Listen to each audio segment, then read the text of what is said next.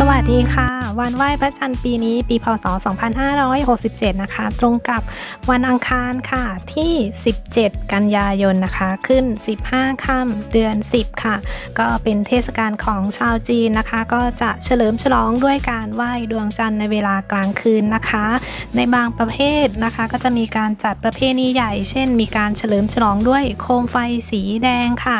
บางแห่งก็จะมีการเชิดมังกรนะคะ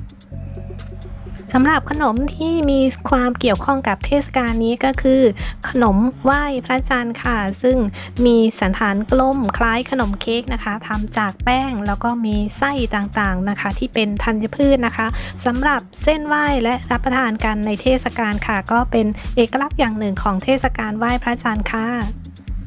ก็เป็นเทศกาลตามวัฒนธรรมจีนนะคะ ที่จัดขึ้นกลางฤดูใบไม้ร่วงนะคะ เพื่อเป็นการเฉลิมฉลองการเก็บเกี่ยวค่ะ ที่จะมีขึ้นในคืนวันเพ็ญเดือน 8 ตามปฏิทินจันทรคติค่ะ